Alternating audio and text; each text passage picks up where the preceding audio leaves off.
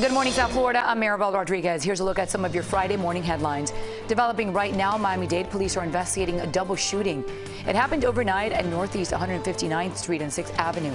Investigators are focusing on a car in the middle of the street riddled with bullets. There is an area that's still blocked off as police investigate. They tell us a man and a woman were taken to Aventura Hospital in stable condition. More tributes for the two FBI agents killed in a shootout in Sunrise.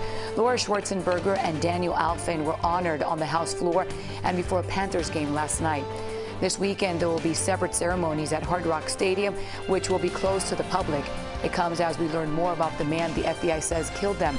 A neighbor tells us David Lee Huber was a loner who once pulled a gun on a pest control man. Miami-Dade police are asking for your help finding the man in this sketch. They say he tried to sexually assault a woman in the area of Northeast 92nd Street and 6th Avenue in Miami Shores back on December 20th. The woman fought back when he shoved her to the ground. The attacker then took off. You're asked to call police with information. New this morning, Democrats are one step closer to passing President Biden's $1.9 trillion coronavirus relief bill. Vice President Kamala Harris was the deciding vote for a budget measure that would let Democrats pass the package without Republican support. Senators worked throughout the night in a marathon session known as Vote-A-Rama, passing measures that include support for restaurants and limits on who can get stimulus checks. And that's a look at some of your Friday morning headlines.